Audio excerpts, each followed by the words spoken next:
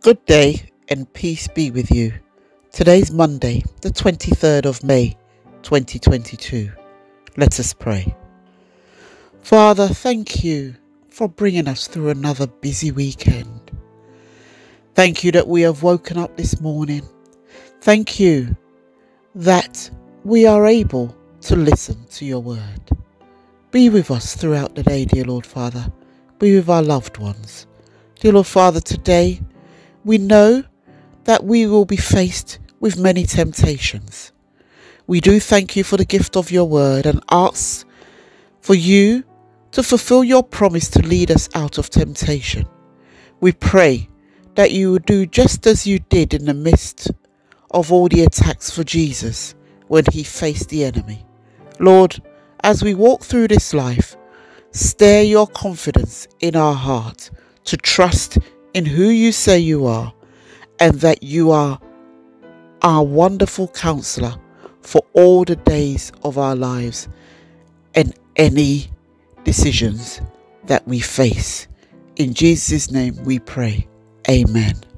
Our reading for reflection today continues from Deuteronomy 15, verses 12 to 18. And the theme is Do not send him away empty handed. Beloved in Christ, let us listen to the word of the Lord.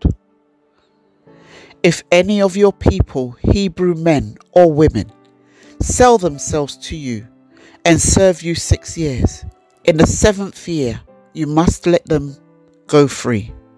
And when you release them, do not send them away empty handed.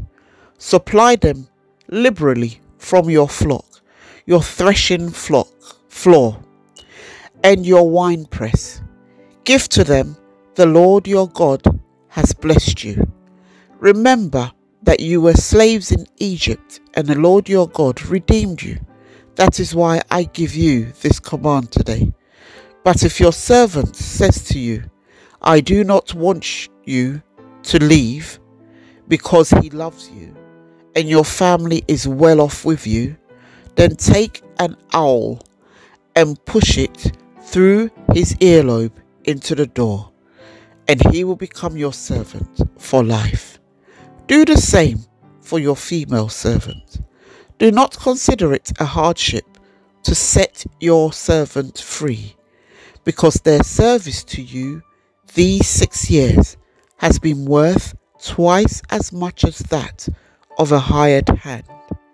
And the Lord your God will bless you in everything you do. Here ends our reading for today. Thanks be to God. Remember to share the good news with others and have a blessed day. Amen.